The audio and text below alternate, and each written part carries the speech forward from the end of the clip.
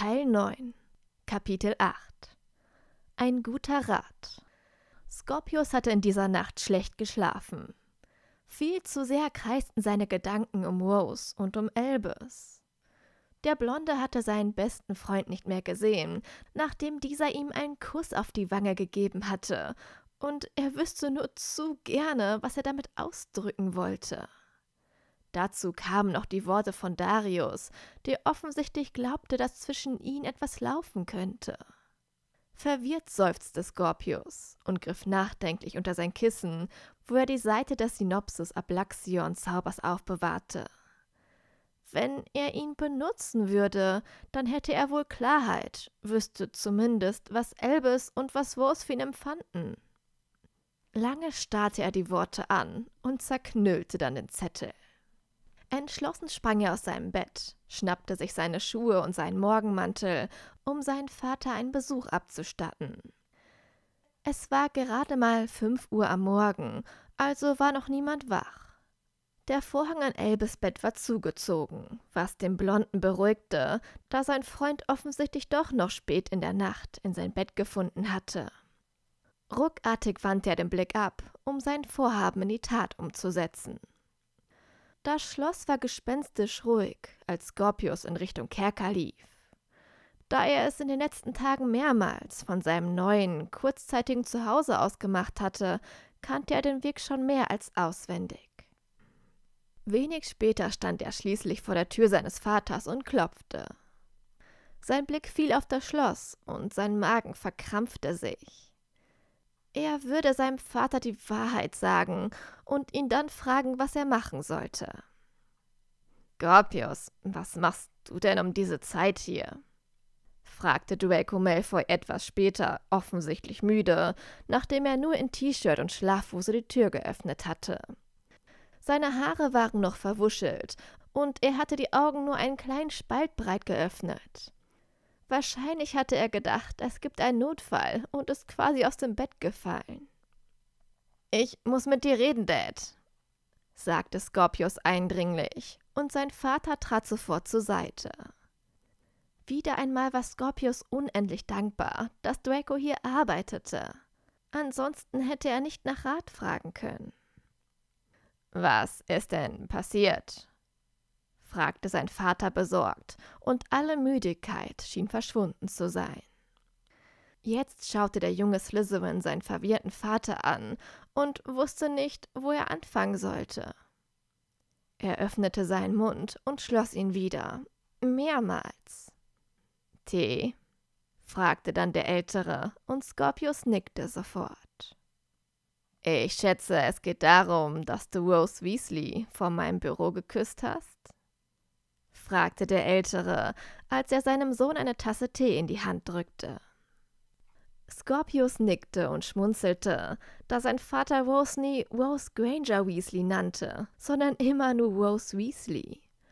Doch dann merkte er den immer noch fragenden Blick seines Vaters und überlegte, wie er anfangen sollte zu erzählen. Schließlich fing er an, indem er von dem Streit mit Rose erzählte, wie sie behauptet hatte, dass sein Vater eine Affäre hatte. Als der Ältere nichts kommentierte, machte er weiter und erzählte, wie sie ihn hinterher spioniert hatten und wie sie zu guter Letzt gestern hier einbrechen wollten. Scorpius, sagte Draco Malfoy tadelnd, doch er hatte ein kleines Lächeln auf den Lippen. Also habt ihr euch nur geküsst, damit ich nicht sehe, dass ihr einbrechen wolltet? Raffiniert. Scorpius grinste verlegen, war aber froh, dass sein Vater ihn nicht für den Versuch maßregelte. Und jetzt hat dich der Kuss so aus der Bahn geworfen? Der Jüngere erklärte, dass er eigentlich nichts gefühlt hatte und wie er später mit seinem besten Freund darüber gesprochen hatte. Etwas zögernd erzählte er auch schließlich von dem Wangenkuss, den er als schöner in Erinnerung hatte als das Ganze mit Rose. Der Blick seines Vaters war schon fast erleichtert, was Scorpius verwirrte. Offensichtlich hast du keine Gefühle für das Mädchen, was mich ehrlich gesagt erleichtert. Immerhin plane ich, ihre Mutter wieder für mich zu gewinnen. Scorpius, die Gerüchte sind allerdings falsch. Im Moment ist da nicht mehr als Freundschaft zwischen uns, aber ich liebe sie. Erinnerst du dich noch an unser Gespräch vor zwei Tagen? Sie war meine erste Liebe und ich habe immer noch Gefühle für sie. Sie wird sich bald scheiden lassen und dann werden wir es langsam angehen lassen. Ich bin deswegen sehr froh, dass du nichts mit ihrer Tochter hast. Das wäre sonst sehr unangenehm geworden. Scorpius brach den Blickkontakt mit seinem Vater und starrte in seine Teetasse. Er musste einfach an seine Mutter denken.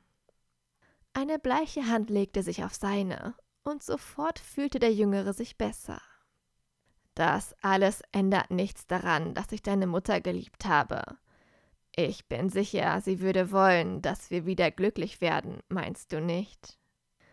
Die Frage hing im Raum, und Scorpius verdrückte lautlos ein paar Tränen. Ja, das würde sie, murmelte er schließlich. Er schaute wieder zu seinem Vater, der ihn abermals erleichtert anlächelte. Aber was soll ich jetzt mit Elbes machen? fragte Scorpius verunsichert. Weißt du, in meinem Jahrgang gab es einen Slytherin, der homosexuell war. Er war sogar in meinem Quidditch-Team. Er hat sich erst Jahre nach der Schule geoutet und ich hätte niemals gedacht, dass er schwul ist. Was ich damit sagen will, könnte es sein, dass dein Freund wirklich Gefühle für dich entwickelt hat?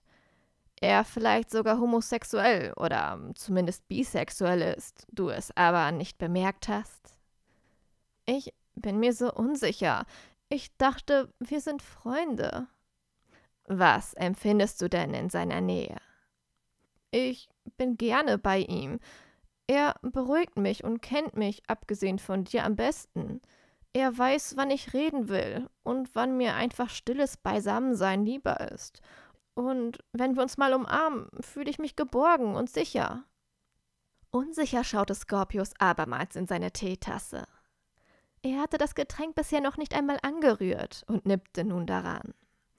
Nun, ich denke, du solltest mit ihm reden, meinte Draco Malfoy. Sofort schaute der Schüler zu ihm. Wie soll ich das denn machen? Ich meine, es, was auch immer es ist, könnte unsere Freundschaft kaputt machen, sagte Scorpius verzweifelt.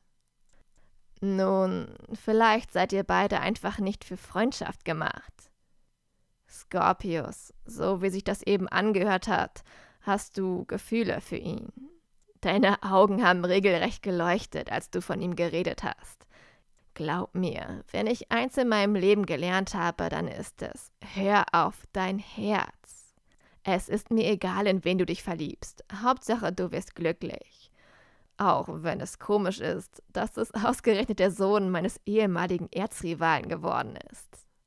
Nach dem letzten Satz lachte Draco Malfoy auf und grinste seinen Sohn an. Abermals traten Scorpius Tränen in die Augen, und er umarmte seinen Vater stürmisch. Dass er dabei den Tee verschüttete, war ihm absolut egal. Danke, Dad, schniefte er. Eine Weile umarmten sich die beiden Malfoys, ehe der Jüngere sich vorsichtig losmachte. Ich denke, ich sollte gehen. Ich möchte nicht, dass mich das ganze Schloss in diesem Aufzug sieht, sagte er leicht verlegen, und sein Vater lachte. Dann verschwinde schon und halt mich auf dem Laufenden. Noch einmal nickte Scorpio strahlend, stand auf und verließ dann die Räume seines Vaters mit neuem Mut. Er würde mit Elbes reden.